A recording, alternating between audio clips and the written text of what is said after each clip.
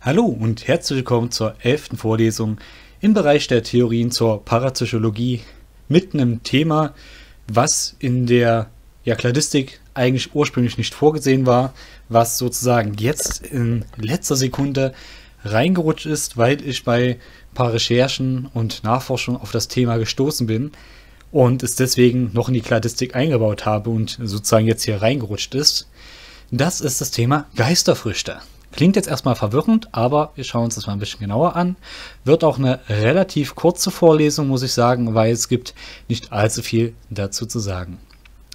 Okay, wenn wir in die Kladistik gehen, natürlich innerhalb des Bereichs der Phänomenologie, kommen wir dann zu der Frage, handelt es sich um Eishüllen von Früchten an Bäumen? Beantworten wir diese Frage mit Ja, dann landen wir hier in dieser Vorlesung zu den Geisterfrüchten. Bei Nein kommen wir dann, wie das üblich ist, zur nächsten Prüffrage. Aber natürlich landen wir hier bei Ja. Bei Geisterfrüchten handelt es sich um Eishüllen, welche die Form von Früchten haben. Bekannt sind bisher nur Äpfel, die bei extremer Kälte dieses Phänomen aufweisen können und dann Jonah Ghosts genannt werden. Warum Jonah Ghosts? Nun ja, es ist halt aus den USA hauptsächlich berichtet worden und daher ein englischer Name.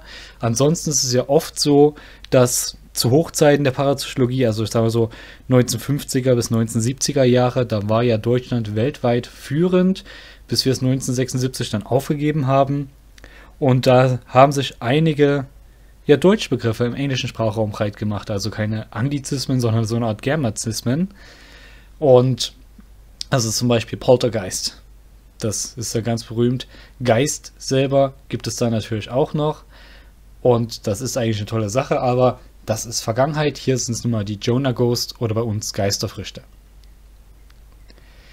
Theoretisch sollten diese überall da zu finden sein, wo im Winter noch ungepflückte Äpfel an Bäumen hängen und wo es zu Gefriertemperaturen kommen kann.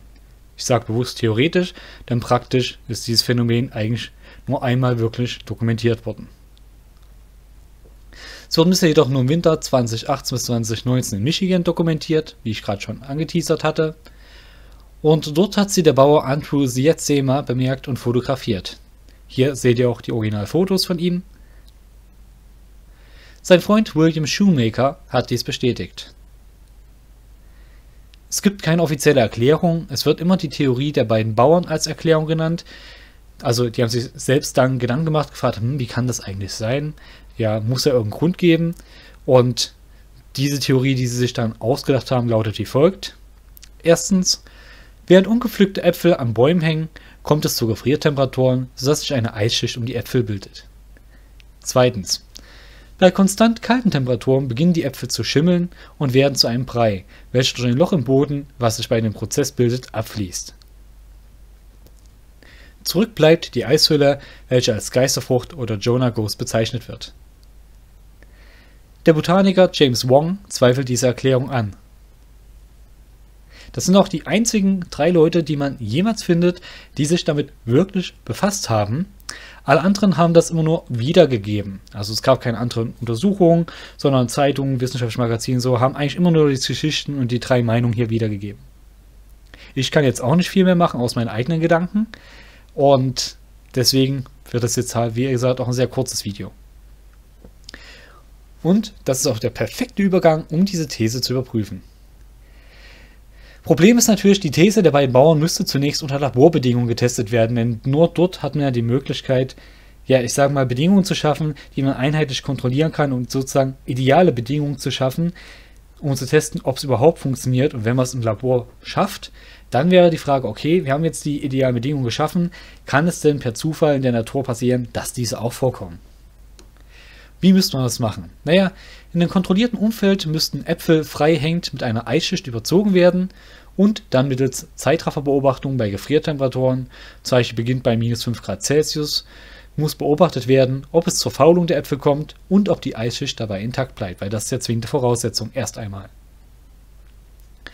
Sollte das keinen Erfolg bringen, muss die Temperatur in festen Intervallen, zum Beispiel pro Monat 1 Grad Celsius plus, erhöht werden, bis der Verrottungsprozess einsetzt. Man muss also die Temperatur finden, wo man sagt, alles klar, das Eis schmilzt nicht, aber der Apfel verrottet dennoch.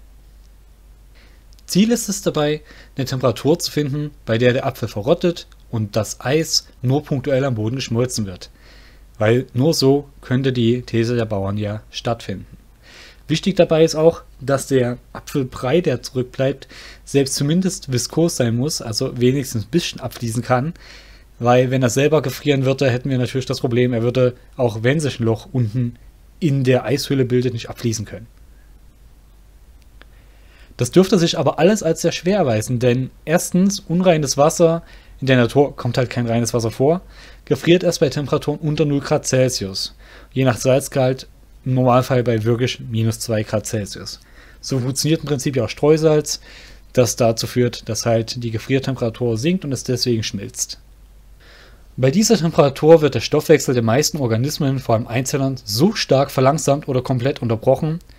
Ausgenommen sind kyrophile Organismen, also Organismen, die auch bei extremst kalten Temperaturen hm, aktiv sind. Da gibt es ein paar wenige Bakterien und ein paar Archeen, aber insgesamt sind die für sagen wir, unsere normale Betrachtung irrelevant. Das bedeutet, es kommt nur in seltenen Fällen zur Fäule und in der Regel wird der Apfel konserviert. Äpfel sind zudem relativ beständig gegen Fäule, das muss man auch dazu sagen. Also die Wahrscheinlichkeit, dass es bei einem Apfel passiert, ist streng genommen geringer als bei anderen Früchten. Drittens, Fäule ist ein exothermer Prozess. Das heißt, Energie in Form von Wärme wird frei.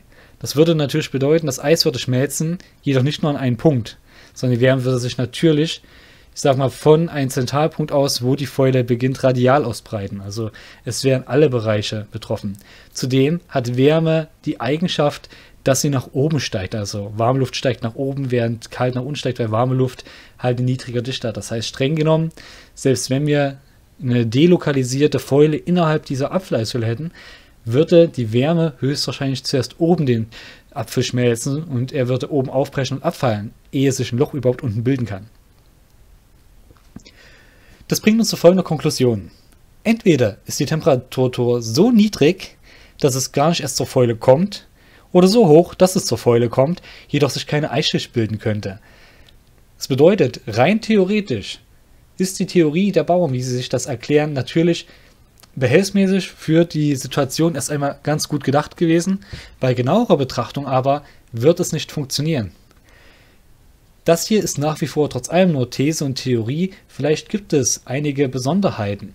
Vielleicht sind die Äpfel mit irgendeinem Mittel gespritzt gewesen, was eventuell andere, ja, ich sag mal, Prozesse hervorrufen kann. Möglich. Aber das müsste man im Labor testen. Aber wenn man hier nur rein von dem, was wir wissen, ausgeht, also wie Wärme funktioniert, was exotherme Prozesse sind, wie Fäule stattfindet, wann Wasser gefriert und so weiter und so weiter. Wenn man das alles zusammennimmt, was ja alles bekannte Tatsachen sind, dann dürfte es solche Hüllen gar nicht geben.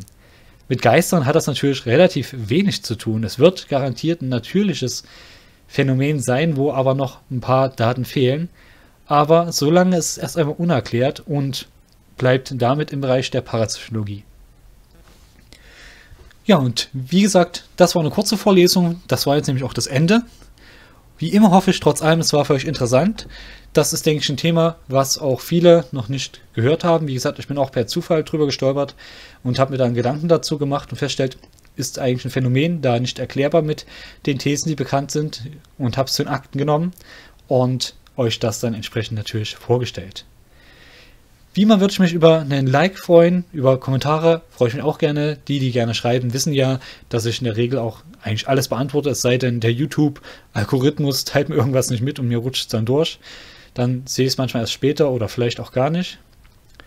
Und gerne könnt ihr uns natürlich immer supporten, nicht nur mit Kommentaren, sondern auch mit den Likes und natürlich mit einem Abo, wenn ihr noch keins da gelassen habt. Immerhin, wenn euch der Content gefällt, dann werden euch auch sicher die restlichen Videos gefallen.